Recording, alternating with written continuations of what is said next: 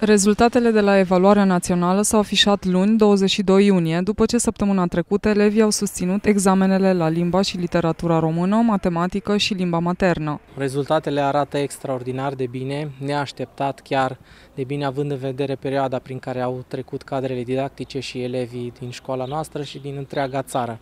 Au fost multe note de 10?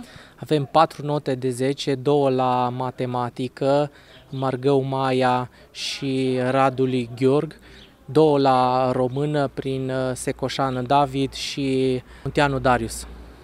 Care a fost prezența elevilor la evaluarea națională? Există elevi care trebuie să participe la sesiunea specială a evaluării?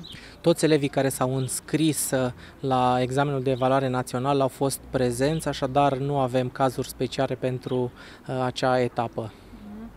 Uh, este adevărat că sistemul de afișare al rezultatelor a fost unul anonimizat în acest an. De ce credeți că a fost luat acest demers? pentru că pentru a se păstra acest secret al notelor și pentru ca să fie confidențiale notele.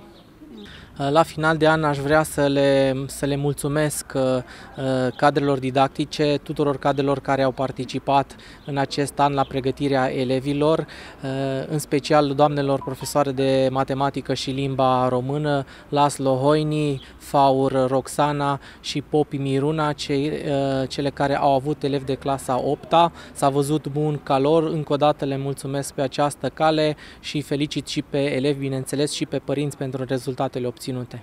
Este pentru prima oară în istoria învățământului românesc când Ministerul Educației recurge la formatul anonimizat, astfel că rezultatele vor fi afișate pe site-ul evaluare.edu.ro începând cu ora 14. La școala gimnazială din Dumbrăvița, nivelul de promovabilitate este unul excelent, mai exact de 98%, excepția făcând un singur elev care, din păcate, nu a reușit să treacă de examenul de matematică. Elevii pot depune contestații începând cu ziua de astăzi, 22 iunie, între orele 16 19 precum și mâine, pe 23 iunie, între orele 8-12.